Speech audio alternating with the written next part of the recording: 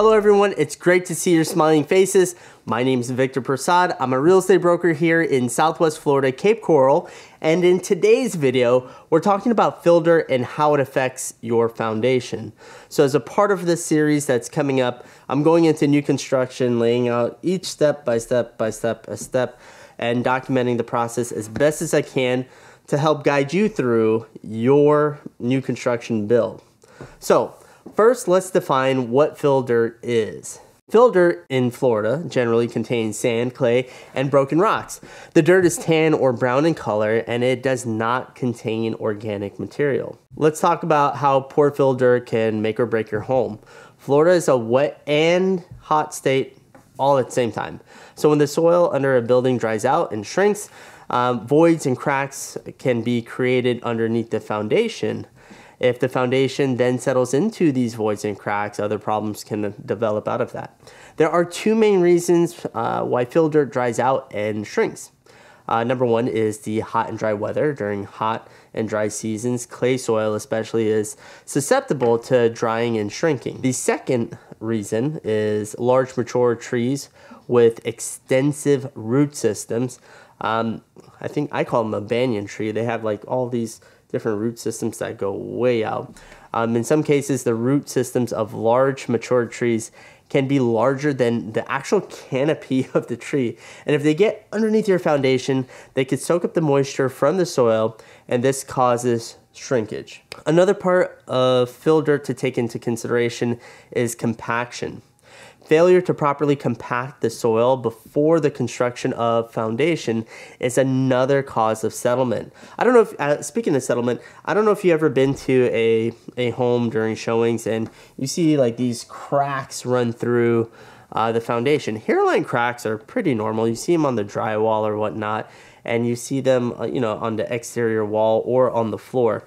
Well, I'm going to pop it up somewhere. I don't remember the exact measurement, but if they exceed a certain if they exceed a certain um, size in the crack, then it it's, certainly causes an issue and you need to get it inspected. Diving back into the video, the causes of why these things happen is because the foundation must be placed on solid ground.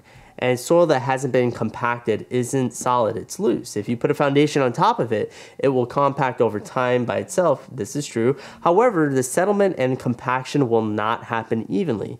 And when differential settlement occurs, it will cause problems in your foundation like cracks and whatnot. Finally, let's talk about the process. So when you're driving around in Cape Coral, you'll see like these piles of dirt on top of cleared property. Well, before that dirt gets on top of that property, the contractor actually has, or the builder has somebody scraped the lot to clear it down to virgin ground, and then they put those piles of dirt on top of there.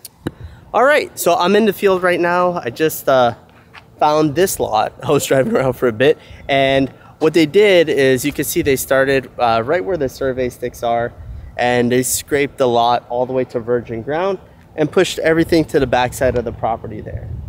So, back to you in the studio. The dirt is trucked in from a quarry. Each dump truck contains 16 cubic yards and weighs approximately 22 tons. The amount of fill dirt is calculated by using a survey. The survey shows the elevation and the boundaries of the property along with the blueprint for the size of the home, which lets the builder and or engineer know how much dirt they need.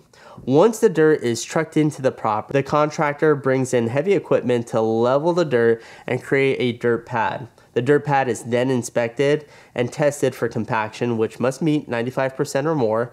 Once that inspection has passed, then you are ready for digging your footers for your foundation. All right, that's it for me. I hope you enjoyed this video. If you're thinking or even considering relocating here to Southwest Florida, be sure to call, text, or email me.